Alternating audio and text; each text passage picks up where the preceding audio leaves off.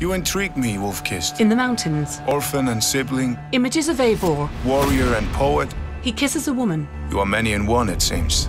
A Norse town. Eivor! Sigurd! I missed you, brother.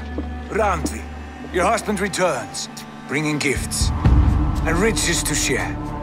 And new friends, I see. A dark-haired man removes his hood. A great hall. We cannot stay in Norway, not without fueling more war. So we push forward. At night on a dock, A new kingdom awaits. Eivor and Sigurd. From here to Valhalla, I will always be on your side, Sigurd. They face northern lights. Always.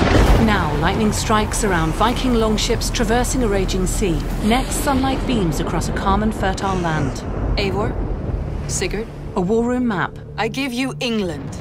Megalithic stones. This land already has many rulers. Men on a battlefield. From the cunning King Alfred of Wessex Alfred faces Eivor. to the warmongering sons of Ragnar Lothbrok.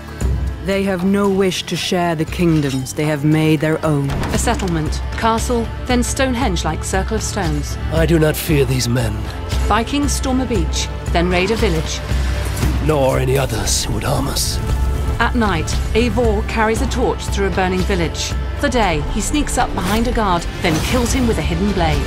These lands bring our people hope. A Norse village. I will do whatever it takes to make England our home. Outside a great hall, Saxon soldiers gather on a hillside. Next, in the village, the Vikings and soldiers battle. Eivor smashes a soldier with a hammer. The Saxons hunger for Norse blood. Vikings tap their shields with their weapons.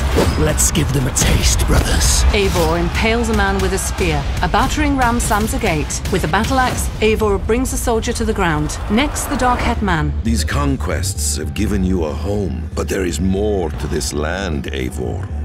A darkness unseen, an unknowable threat. One bound to England's destiny and to yours.